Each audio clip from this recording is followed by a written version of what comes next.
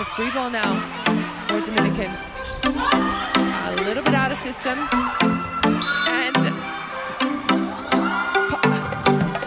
Thailand throwing a free ball over and into the